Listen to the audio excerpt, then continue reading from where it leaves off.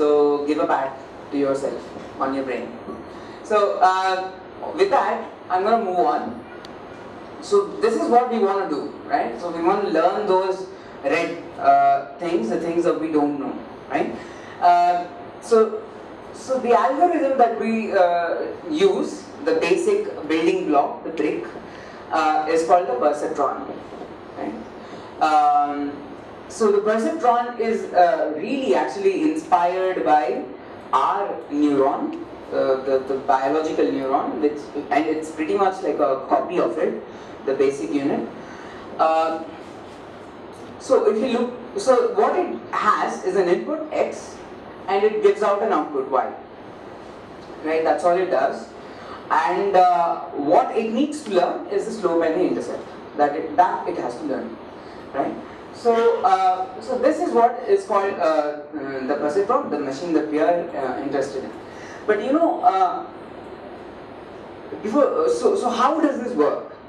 So every time you give an input, so you give age say 5 and then you expect the, uh, the algorithm to give let's say uh, you know usually how old are 5 years like I don't know 2 feet so uh, so you say 2 feet but the algorithm doesn't work I mean in the first chance it just gives a random number let's say you give age 2 and it gives out 5 feet so you say no 5 feet isn't correct you say 5 feet isn't correct 2 feet is correct so you're wrong by uh, this much right?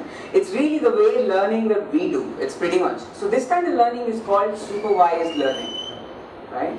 So supervised learning is where you have the input, you also have the correct output, so that you tell the machine what the correct output is, how much it is wrong by, and that's very important. You you are not just saying whether it's right or wrong you understand? You are saying how much. So you're driving the self, uh, self-driving car. I mean, you're driving a car, right? So you do something bad. Okay, I do that all the time. I'm a pretty bad driver. So uh, you don't see uh, a bike or something and just uh, butt in, and the guy doesn't just say you're wrong. He goes on abusing you, right? That's supervised learning. So he says you are so bad by this much and you take that feedback and then hopefully, if you're not mad enough, you learn by it. Right? So that's what your perceptron is really doing. Right? So uh, there are other forms of learning where you don't actually say what the right input is. Okay? You just say, oh, you're doing it right or you're doing it wrong. You don't say uh, how much. Right? So when you give the age to, uh, and it says uh, 5 feet or 6 feet, you don't say you're wrong by 3 feet. You say you're wrong. That's it. If they're wrong by 2 feet, you say you're wrong by 2 feet. If they're wrong by 10 feet, you say you're wrong. You, you're just wrong. I'm sorry, you're just wrong. Wrong, wrong, wrong. Not wrong by this much. So this kind of learning is called reinforcement learning. It's a very new thing that, I mean, it has been there for a long time, but its power is being realized right now. Uh, there's another kind of learning where you don't actually say anything at all, right? And it learns on its own magically.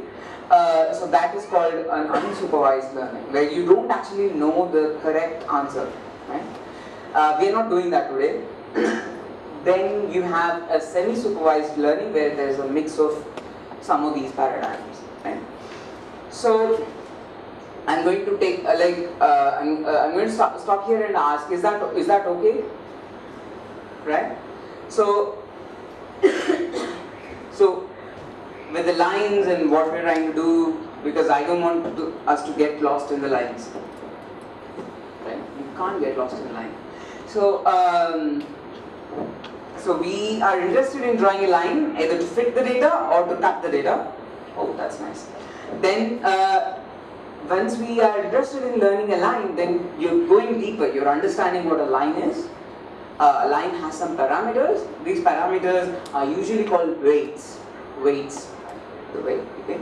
Um, so these weights are things that we don't know, and we are interested in learning the underlying pattern of the data. Uh, take a moment and understand how different this is from what we do all the time, right? uh, uh, let's say you're do, let's say you're doing a project, uh, let's say you're doing something else for yourself. Uh, all the code that we write, every other code that we write, is is all about the output. You're doing a website, it's all about how, how it looks or how it functions. Uh, how, how your you know e-cart is whatever. Uh, you're doing some other kind of uh, uh, web application or you're doing server management mainframes you name it. If I take everybody here and I ask what they're doing in their uh, I mean in their work it mostly everybody will be about output right if it is about mainframe, it's you have to see that the system works and then it has to give certain output. We are all really, really focused about the output. Machine learning and data science is the only thing where output is already given to you. You, know, you don't care about the output. You really only care about the pattern that lies inside.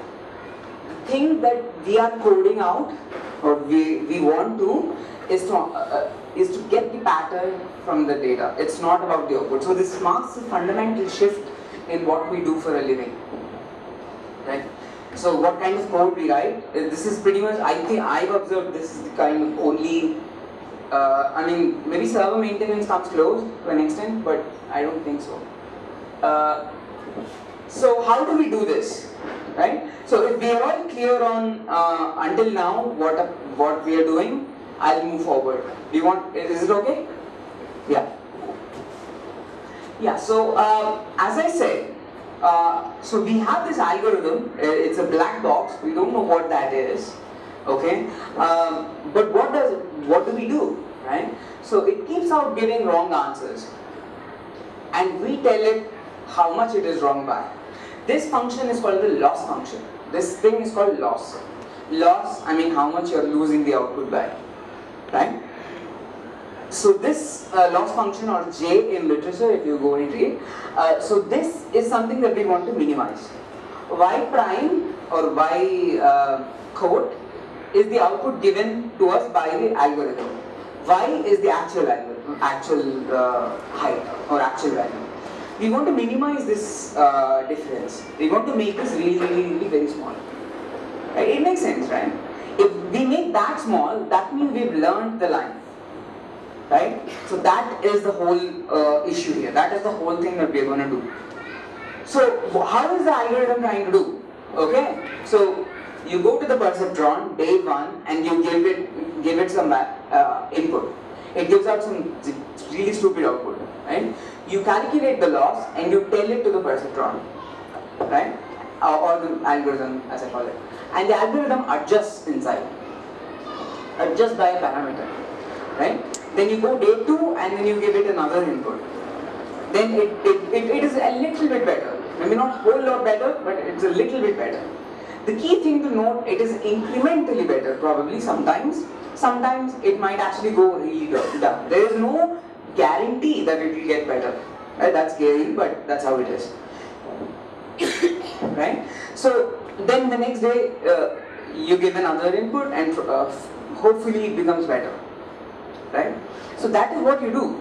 Every time you give an input it computes and then it basically uh, gives us a uh, and, and, then you give a error uh, or, or, or a loss basically and then it adjusts according to that loss. Eventually when you give it enough samples right? When you give, give it enough training data, it, it, it, it, stabilizes. It keeps giving you the right answers most of the time. Right? So that is the whole algorithm. And uh, usually how much you adjust the weight, as in how much you adjust the slope, the intercept, it depends upon what you call a learning rate right? And that is something that you can tweak around, you can fidget, and uh, it's usually less than one, so that it doesn't uh, adjust just once, right? Go ahead. So, um, is it okay until now? Right? Is it too mathy? It's not too mathy, right? Yay. Okay. So, um, so essentially, we, we, we've solved the problem of lines. It's, it's cool, right? So, uh, but the problem is not all problems are in lines, of course. right? So there are only very, very simple problems which can be solved by lines. I mean, separated by lines or fit by lines, right? Uh, most of the problems are not, right? So tho- those problems are called non-linear problems. Okay, linear, non-linear problems. Like if you look at that data between the green, let's say green are the apples, green apples, blue oranges, maybe not, but uh, that's okay. That's a very nice, you know, test data that pretty much never occurs in life. Okay, and you can draw a line, be happy with it, and it works. Okay, but look at that. Look at B. Picture B. Okay, can anybody draw a line satisfactorily, separating the two planes?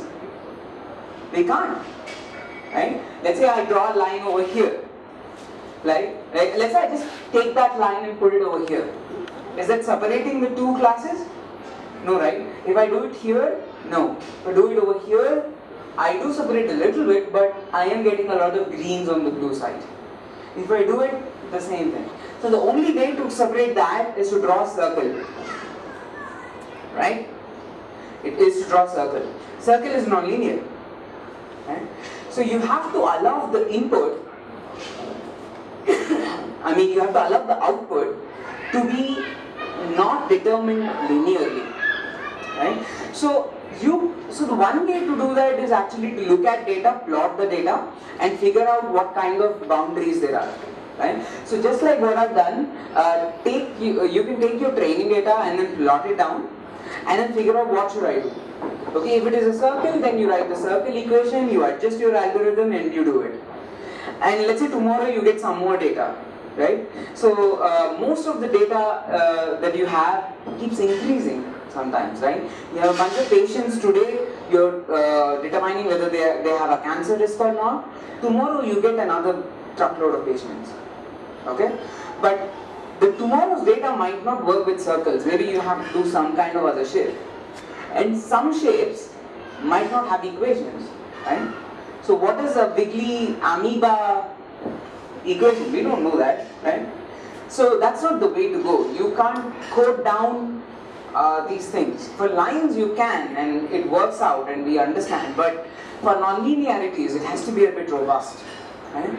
So that's, uh, so, so one more thing that I want to tell you, two things in this slide really, is look at this equation.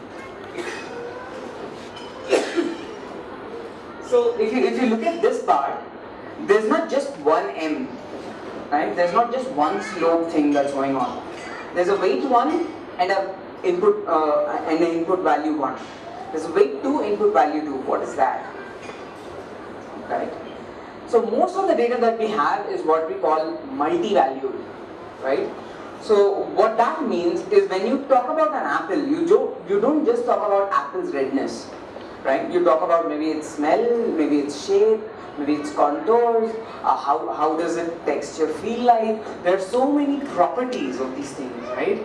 Even for an orange, they are the same thing. So there's a smell, there's a taste, there's a color, and there's a bunch of things. Okay? For a, for a person with symptoms, there's not just one symptom, right? It's, you can't, uh, they don't come and uh, say just cough, and then you don't say cancer. It's not like that, it doesn't work like that. There's a bunch of things that goes around. So these are your X1s and X2s and X3s and X4s and so on. These are what in this jargon are called features, right? These are features. And sometimes, uh, actually most of the times, these features are handpicked. So you decide whether you want to work on um, apple's color uh, vis-a-vis apple's shape, right? so these are features that you pick. For each feature, there's a coefficient. And that coefficients, all coefficients put together is called weights. Right? So we'll take an example and it becomes really clear. So two things in this. One uh, is, is, is there are more than one uh, attributes for every input, right? And you've got to sum these things down, right? So all these things are summed together. That's what really our neurons also do, right? Go if you go back to your biology 101, I mean you, you got to be thinking like, oh, are we doing programming, math, and biology together in one session? So, um, so your neurons have these things called the synaptic endpoints, right? They're connected to your dendritic uh, cells to other neurons. So what a neuron typically does, I'm simplifying, I mean, he would kill me if he was there, Yagna sir. But uh, it takes input from all other neurons, all other senses. Like if you have actually your smell, like in, in your nose, uh, and all there are receptors, right? So these receptors are special kinds of cells, like these input cells. And every neuron takes stuff from these input cells and just sums all the all the uh, uh, synaptic uh, input. That's what we are doing here also. And then it does something. If it and the simplest neuron, what it does is, if it is greater than some x amount, it fires. If it is less than some amount, it doesn't fire. That's what a neuron does. The, the greatest thing, the thing that we have to uh, really see is, is the magic happens not because of one neuron. It happens because there are like billions of them, right? And they are they all work together, and we are not mad. That's great thing. I mean, you're not breaking apart as I'm speaking. That's a great thing. I mean, to ponder. so that's that's what I'm doing. So there is a superpower that we have, right, to go beyond lines, right, to cheat in a way. If you think about it, that is called nonlinearity, right? Nonlinear functions. These are functions which take a linear input and then they can bend them like anything okay and uh, there are these bending functions they are not actually called bending functions i am just calling them bending functions because to give you a picture uh, if you go out and talk about bending functions i'm pretty sure nobody would understand uh, so these are nonlinear functions there are tons of them okay uh, the most popular the, the first one i learned was called the sigmoid I'm not going to give you the equation because I think you'll like belt me or something. Uh, so it looks like that. It looks like a very nice uh, thing. Uh, and essentially, uh, what that what that means is it's not a line, and it has a whole range of nonlinear values, given linear values, right? You give a linear x, so the x is linearly variant. Okay, so the x is going from uh, God knows minus four to plus four, let us say, right? And y is ranging from all kinds of, you know, it's it's curvy, right? It's not line, right? So that is what your sigmoid is, essentially. Right? And this helps you beat uh, the, the problems that are caused by just tackling lines. So all you have to do, in a modular sense, you know, this you recognize, right? So this, this thing, this thing is the input, this thing is our algorithm, the machine, this is the new thing. The diamond thing is the uh, nonlinearity. This is the only thing that I'm adding now. Believe me, that is all the difference. Right? That that is the difference between getting stuck to apples and oranges for life vis-a-vis actually solving any problem. and then that's it. That's the only thing. Right? So equipped with this superpower, you can think of machine learning, all that machine learning does, as a generic function approximation. Right? So you don't know a function. Imagine you don't know a function, you know the input, you know the output. It's very opposite, it's very antithetic to the whole programming uh, uh, environment that we've uh, grown up with even. Right? We are all about procedures, objects. How do you organize stuff? What is there inside of the hull? That kind of thing. Okay, machine learning in a way is, is just like a very uh, a dialectic opposite to that. Right? uh, you know what it is is you don't know the function. You, you are you are interested in learning the function. You know the input you know the output. It's opposite to programming in a way if you think about it. Okay? So um, so that that is what it is. You can learn any function given the enough complexity given enough architectural uh, uh, rigor in the whole uh, ML apparatus. Okay, are, we good here? I'm sorry. Is it good? So, the quick thing, so we, we were interested in machine learning and we found out that machine learning is about drawing lines. Okay, and uh, when we were interested in drawing lines, we thought, oh, let's look into what lines are. And there are parameters of lines, and there is an algorithm called the perceptron algorithm. Okay, and that was not invented yesterday, like way back when Okay, uh, and this perceptron algorithm learns lines like it's meant to do. Okay, uh, but we found out that learns aren't lines aren't enough. There's non-linearities involved, and we have to learn non-linearities, and and uh, we found out that non-linear functions uh, give you that power, right? You know, speaking in a high and abstract level. So that's what is happening, right? So uh, this is, I think, the last bit of theory. I hope. Okay.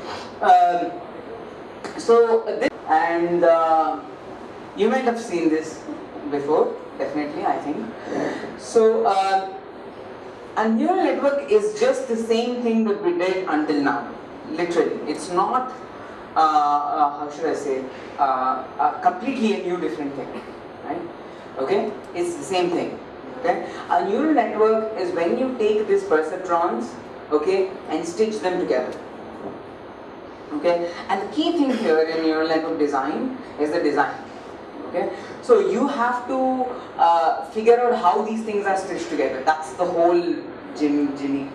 Okay, so so how is this uh, complicated? How is this different from what we've done until now? Until now, we've only talked about one of these circles, right? The perceptron right? Now what happens if you stitch them together? That's what we are really interested in. That's what we came to learn here, right? We are not interested in one perceptron, right? That's just a line. I mean, anybody can draw lines, I think. Okay? Um, so this, the whole thing, the, the, there, are, there are just one or two bits of differences and complexities added in this whole thing, right? So this is what we call the input layer, okay, which takes all your inputs okay and you should see this uh, bramble this mess of a thing is just every perceptron every part of your input is connected to every other part every other perceptron right? So every input is connected to every other uh, perceptron. That's how it works okay? Uh, and this is uh, what is called a hidden layer okay? Uh, because this you don't actually do anything with this uh, then there is an output layer which just kind of gives you an output, right? If you think about it, uh, can you go back one? if you think about it, all I've done is expand this bit, right? So the next slide, can, all this thing can be thought of one black box that takes a bunch of input and gives a bunch of outputs. That's it okay? So the way that this is different okay is because there is layers of complexity added. So everything is called a layer. Every uh, cross section vertical cross section is called a layer. And every layer gives inputs to another layer right? But how does this algorithm learn? It's the same way it learns. So uh, so what what we did in the first slide i mean was we said oh, it gives you an output, which is obviously wrong, and you tell it how wrong it is, right? So all machine learning is, is about that, right? So what we do at the output layer, we say, for each of those blobs, each of those neurons or perceptrons or whatever that is, we say how much wrong it is. and then what this does, this adjusts, okay? And then this tells these things, how much wrong these are, right? And these things tell these things how much wrong these are, and it goes. Okay, so essentially at every bob, at every unit, we are interested in how much this contributes to the bad answer, to the wrong answer. Okay, so machine learning in it, I mean this kind of algorithm is called back propagation, back propagation of the error So uh, this is what really enabled the neural networks to be what it is today, really. Geoffrey Hinton and et al. Really awesome guys. So, so how does a neural network learn? It learns where every unit criticizes the other about how much wrong it is. Okay? You should be surprised how, how well they work right? If, if each neuron has consciousness, they won't learn because all learning is about this criticism, like, oh, you're wrong by this much, you're wrong by this much. Correct yourself. Okay. Bad joke. So, uh, so this is a very standard vanilla feed forward neural network, right? Uh, feed forward because it goes forward, doesn't go back. Uh, it only goes back in the learning. It doesn't go back while computing. Okay. Every neuron remind. Uh, I'll remind you again. Just takes the input, clumps them down. That means it adds them, gives them to a non-linearity. Sometimes, sometimes it doesn't, and then passes on. And how does it learn? Every neuron is given how much wrong it contributed to the wrong answer right? And so how, I mean, if you look at the math, how they do it is by actually deriving the error gradient out of the, out of each step, okay, but I'm not going to do that. Uh, it's gone. So basically what you need to do, I mean, that's all the math, really, uh, that I'm going to do today. And uh, you can do this by uh, two things. Uh, so what I used to use uh, when I started out these things is something called Theano, uh, which is still good, which is still awesome. Uh, but the problem with Theano is uh, it's not really a happy thing to do for a beginner. It's, it's not like you, it's not very user friendly for a beginner, right? neither is TensorFlow, to be really honest. so that's why there are wrappers over them uh, best wrapper I, I could find was Keras, okay? And Keras makes it really, really, really very easy for us uh, to, uh, you know, learn these things, draw, draw up architectures and, and, and do stuff. So uh, the simplest problem that I think of is to teach the machine how to add, okay? Uh, with a respectable accuracy that is. Uh, so adding, if you think about it, is you is, is a linear equation, right? You have two numbers, and you get one number out and that's it. And uh, uh, but because you have two numbers, it's not a 2D plot anymore, it's a 3D.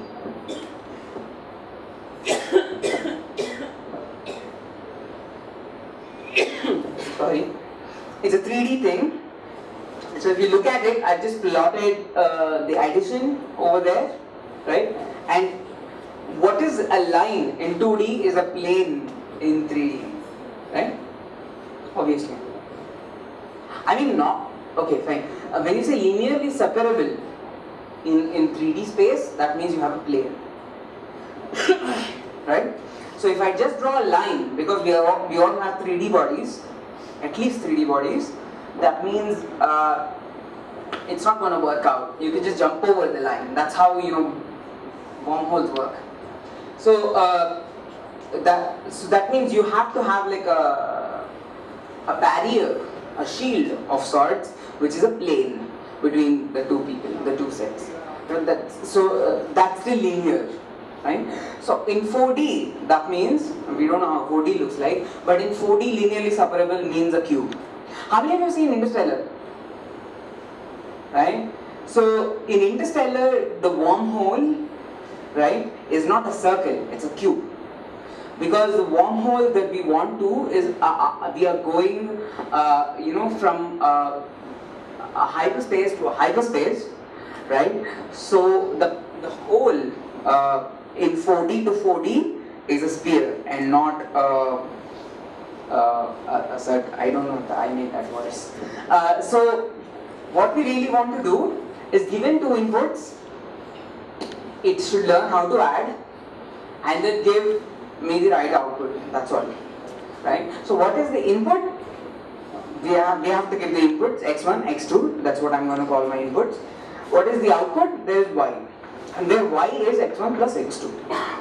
Our original equation was y is w1 x1 plus w2 x2 plus c or b, whatever you want. Okay? So the data is linearly separable. So uh, theoretically, learning a plane should be a piece of cake. Okay?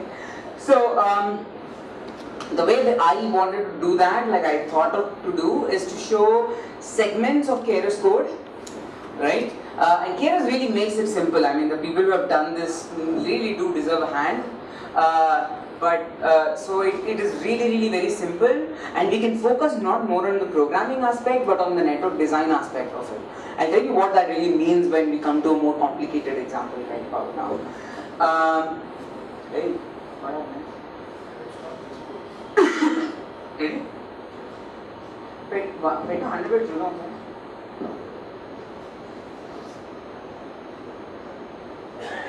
Is it not visible to the people at the back?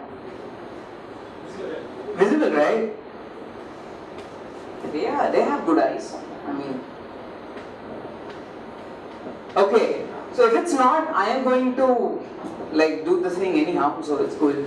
Uh, so essentially, every Keras script, the ana- anatomy of the Keras script is, is really very uh, uh, uh, structural. I mean, there are very clearly defined blocks uh, that we can structure our code around, and uh, it's very simple. Okay. So the first thing is the import part.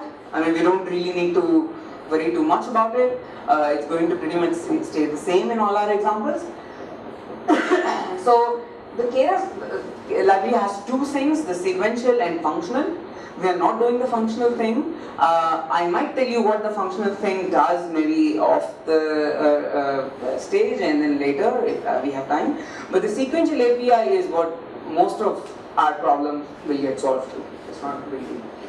Then there are two layers that we will work the most with. One is called the dense layer. A dense layer is what sums up the input, right? So the W1, X1 plus W2, X2 plus C, that's what your dense layer does. And the activation layer typically applies a non-linearity. Okay, two, two building blocks. Okay? So uh, that's what your imports do. And if you if you're lost anywhere in all this jargon, please don't uh, hesitate. Ask me. Uh, it's okay. Jargon is not really that important. So um, the next thing that we are going to do is create a model. Okay. Uh, so that's really is the most important part and the part that really we have to focus on building the model itself. Okay. So our model, my model, a very simple model. If you go back the slide, it just has the summing bit. It does not have a nonlinearity. I'm not adding a nonlinear function here. Okay. I'm just doing the sum thing. Okay. Go, go front. So the layer that I am adding is called the dense layer. Okay. So the dense layer has two aspects to it. What comes in, what comes out. Okay. So what comes in is how many uh, features does your input have. So my input has two numbers, right? Because I have to add two numbers. So that means my input dimension is 2. So x1, I am giving you an x1 and x2. You have to give me a 1. Right? So my output dimension is just 1. So, so I'm summing two things, getting one output. So my output dimension is 1. So if you look at it, I have one dense unit and two input dimensions. So these two input dimensions go sit in this one, one unit. They sum up and that's what happens. Simple, very simple. We'll go through this again if you're lost, it's cool. Uh, and then you just compile uh, the model, okay? Uh, compiling the model just, uh, you know, uh, uh, puts everything ready for you. there are two things, again I'll explain these two things. The first, there is a thing called the optimizer. Optimizer function is the function that figures out how, which which what is the best way to learn, right? So uh, the function that I am choosing is called the stochastic gradient descent. I'll tell you what that is. It's not a big deal. Uh, the other one is uh, is called the loss function. The one we saw in the first slide. Loss is about telling the system how wrong it is, right? So the loss that I am choosing is called the mean squared error. Both of these things I'll explain. Don't worry. Go ahead. Okay. So uh, essentially the loss that we used, the correct answer minus the wrong answer is linear. It's a, it's a, it's a very uh, straight line, right? For a linear problem at least. Okay. Now uh, the problem with that is because see the, the kind of learning that we do is not one shot. Okay, we don't just give one sample and it learns. It's not like that. It learns over time. It learns very little by little right? So we want the whole loss function to be very smooth. We don't want any jaggedy edges, right? So this, for that, what we do, instead of giving directly how much wrong it is, that means the correct answer minus wrong answer, we square it. If you square it, it becomes a polynomial, it becomes a nice parabola, okay? And it slides. It's good, right? It, there's no jaggedy edges. You can go along it in a nice smooth way. Right? So the algorithm that goes step by step, step by step, climbs down the uh, uh, the error. So, basically, what we want to do is, if our first sample, if we are here, we want to go step by step here, step by step here, step by step here, all the way up to here. This is the lowest error possible, right? This is where we want to go. The algorithm that does that for us is, is the SGD, the stochastic gradient descent. That is something that I think you've done that in some point of your time. You might have forgotten or not. Good thing. So the error, we are squaring it. The the bus that takes us through the error gradient is the sto stochastic gradient descent. There are other algorithms, we will not focus on too much of them. There are other names that you, if you want to ask me, we can do that later. Right? So, is that okay? You want me to go over that again? Yeah? Yeah? So, go back. Three things again, very quick. Imports. Uh, so, there are two kinds of layers that we are interested in. One is the dense, dense unit. That means it takes the input and crushes it, it sums it up and the activation unit which applies a nonlinearity. And we've discussed why these two are separate and important, right? Then uh, there are two things. So, so the, the kind of thing that we have is uh, the input dimension is 2. That means there are two numbers to be summed and there's one unit that I'm using to sum that. Then there are two, uh, then, then the loss that I'm defining is a mean squared loss instead of a linear loss because that's a smoother and easier way to do for the system. And the algorithm which takes this and then gets me to the minimum loss, the optimization function is called the stochastic gradient descent. Right? So that, that's it. And let's go ahead. So I'm just uh, taking a bunch of uh, data, okay? How many of you are uh, at least a little bit familiar with uh, NumPy, SciPy? Right? Okay, no problem. Uh, so all I'm doing is just generating thousand pairs of integers. 1, 2, 3, 4, 5, 6, 7, 8, 9, 10, 11, 12, 13, 14, 15, 16 and so forth. Okay, not really those numbers, they're random numbers that I, that I generate. So take thousand pairs, thousand of each pair, each pair has, I mean each tuple has two numbers. And uh, if I just sum them, I'm getting my y.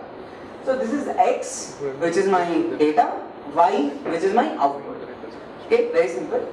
And then I'm just, uh, there is a, the function that I'm calling is called model.fit, which is trains. If you look at it, there are two things there. One is called the batch, and the other is called the epoch. The batch means instead of taking this thousand numbers as one, I'm going to cut them into bite-sized pieces and then I'm going to do each, so I'm going to train these 32 things and then I'm going to learn. Run the 32 things, learn, run, learn, run, learn. 32, 32, 32, 32. And then after I've done these 1000 numbers, if my epoch is greater than 1, so here it is 10, I'm going to do this 10, 10 times all over again. So, right, it, it's, it's like, uh, it, this is what is called the Butty learn, right? so neural networks need this. Okay? In most complicated networks, we have a very high number of uh, epochs. I mean, high as in at least 20, 30 epochs a piece. That means the whole learning happens so many times. So if you've heard of the state-of-the-art speech recognition systems, image recognition system, the CIFAR dataset or whatever these things are, these uh, systems that they have built, the, they use like farms and farms of GPUs, okay? And then it takes days to learn the data. That's because first there are so many units, so many parameters and it learns it over so much time. So many times it has to learn. And it does. It is I mean have you used Google voice recognition recently anytime? Right? It has gotten really, really better. Right? The, the word error rate, the error rate that is called, uh, is just like our uh, MSE rate, the mean squared error rate. It's, it's like 4%. 4% word error rate. That means out of 100 words, the, the, the, the Microsoft speech recognition, the Google speech recognition, all are on par, kind of. Uh, they, they make only 4 mistakes out of 100 in speech. Right? I'm not sure I can make that. Right? So they do very simple things. I mean, that, that's the only thing they do, but they do it very good, right? So that's what the epochs are. Go ahead. Yeah. And then what I'm trying to do, I'm just cutting the data into testing and training. Okay, that's just a simple, very simple partitioning that I'm doing. And then I'm getting the score. To get the score, I'm just saying model or evaluate. And I can even predict, predict, oh. what can I, what can I predict? So, um, model or predict when you're giving a test data, data for which you don't know the values of, the output values of, it can also predict. Right? So these are the things that we are doing. Uh, and go ahead. Oh. So let me show you the uh, code. Let me run the code and then give you a feel of things.